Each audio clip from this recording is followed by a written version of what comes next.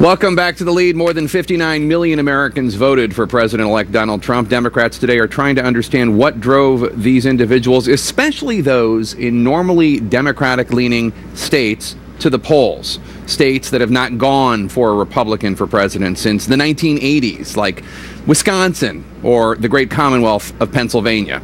I want to bring in Salena Zito. She's a national political reporter who writes for the Washington Examiner, the Atlantic, and the New York Post. And and uh, Salena, it's so great to see you again. You have been covering these Trump voters for months and months.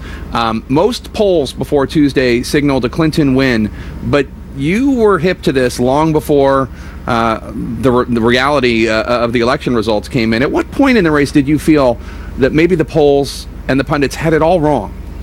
Well, I first got the feeling that this would go for Trump right before the convention.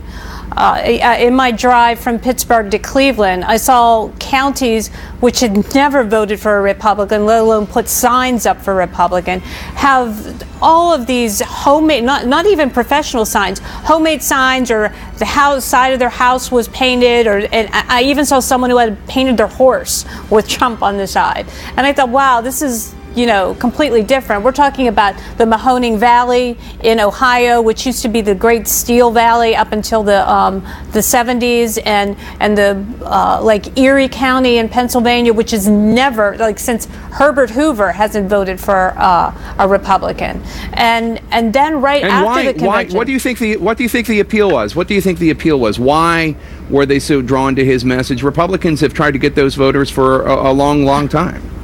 Well, he had a non ideological campaign and message. He offered voters a tangible benefit. Uh, this was a change election. People have been building up to this. You saw it in the wave election cycles in 2006, 2010, 2014, in the midterm elections. So people were unhappy. They kept switching back and forth between Democrat and Republican. They, they've been sending a us a message for a while. But he offered that tangible benefit. He said, Make America great again. And, and while people made fun of that, that, that actually meant something to these voters. And what Hillary's problem was, is that she ran on her resume, which ended up just being about the past. And people wanted to move forward. And, and, and that is probably the most key thing that, that these voters um, liked about him. And, and it's not, you know, it, these voters, it, it's not just the poor voter. It's not just the one that's been economically impacted by trade or technology. It's also the upper middle class and middle class voter who feels a sense of loss of power. Not power in the way that we look at it, you know, uh, in a boardroom yeah. or in Washington, but power in that their lifestyle is going to be different for their children and their grandchildren. These are people that are not mobile. And one thing. Yeah. One, uh, one thing that you said that was so interesting is Hillary Clinton's uh, ad strategy uh, was to focus on outrageous things that Donald Trump has said. Uh, and kind of, she kind of ceded uh, the populist argument to Donald Trump. Um, yes. You say that the media took, liter- took Donald Trump literally but not seriously, while Trump supporters took him seriously but not literally. Explain.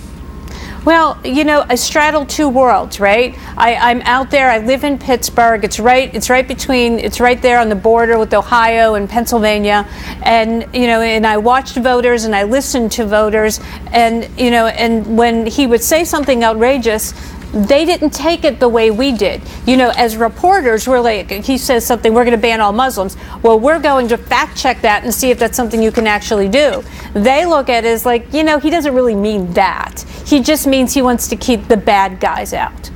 And, and they didn't take everything that they said in the most literal terms. And, and I think that that was sort of the disconnect between us as reporters and the voters. They kept trying to tell us those, those things, he doesn't mean those things in the way you see them, in the way you hear them. Fascinating stuff. I, I advise everybody uh, interested in, in finding out more about this phenomenon, perhaps people on the coasts of the big cities confused about how this happened. Google Salena Zito, read her writing. Very interesting stuff. Salena always good to see you. Thanks so much. Thanks so much for having me.